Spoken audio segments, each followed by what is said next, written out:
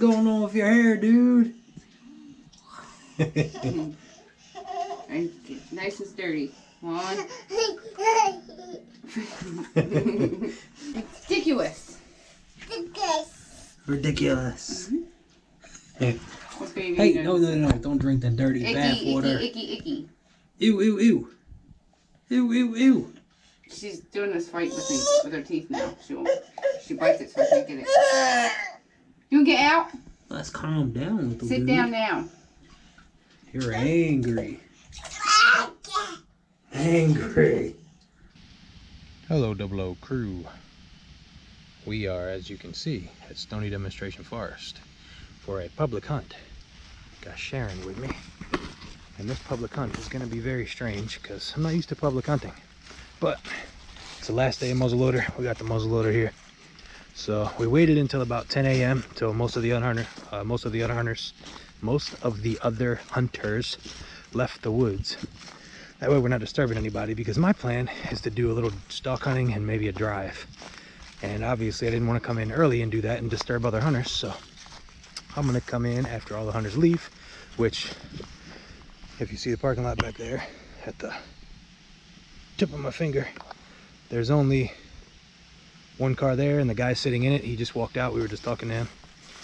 So no other hunters left in this woods, if they're legal anyway. if they're illegal, then I don't care. So, no other legal hunters left in the woods. We're free to come back here and do our drive without disturbing anybody. So that's what we're gonna do. So I'm gonna set, set up Sharon with the gun in one location, and then I'm gonna walk around and try to push deer towards her safely, obviously. That way she doesn't shoot me. So we're gonna figure out if we can get a deer public for the first time. Well, accidents happen, you know, especially if you're from the ground, which is why we got your climber on my back right now. So you're up in a tree. So just a tip, if you're ever gonna do something like this, never do it from the ground. Always do it from the tree. That way you don't end up shooting another hunter who's driving the deer towards you. Because if you miss the deer and the hunter's right behind them, then you kind of just hit the hunter. So yeah. But yeah, let's uh, explore back here, and see what we can see. Hopefully we can get our first deer on the first hunt of the season. Well guys, we definitely uh, found sign of another hunter. That other hunter's not here, but got a fresh gut pile right here. Somebody got lucky. That's from probably this morning too. If it wasn't from this morning, it wouldn't be here still, so.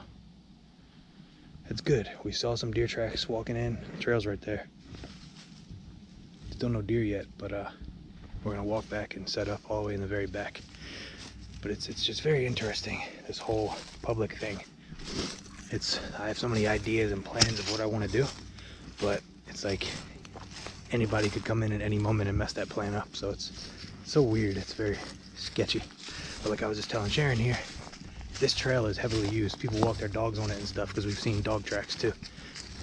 And uh, so I was telling her a good method, even on private land, which is where I learned this, is on a trail that's heavily used and the deer are used to seeing people there. Just keep walking the trail. If you see a deer bedded down 50, 80 yards off the trail, just see that flicker of the ear, flicker of the tail, the head sticking up looking at you over a log, eyeballs, whatever, whatever catches your eye. You don't stop right then and there.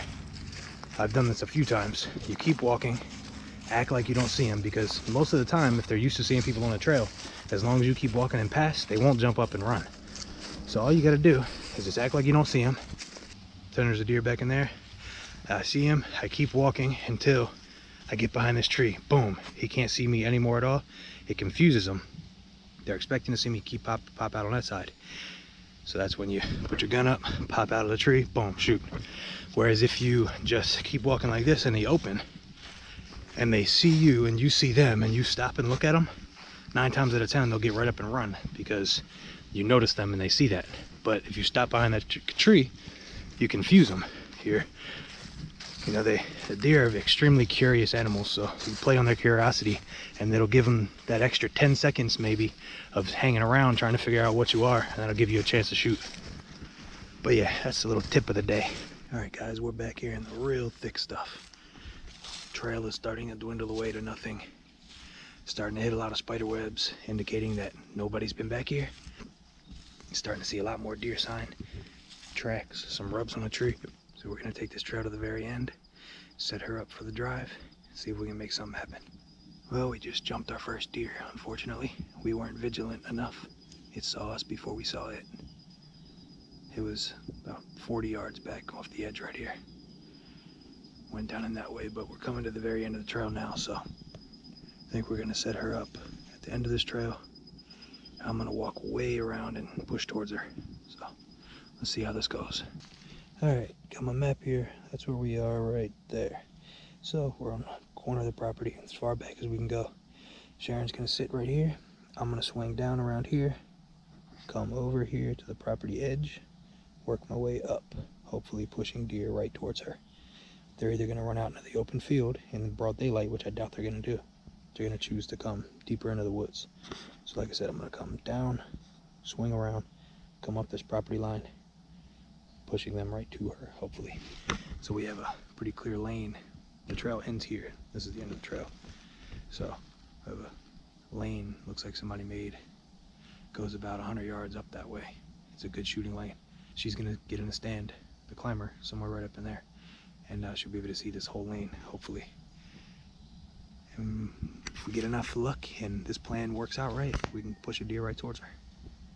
Okay, so as you can see here, our hunt was successful.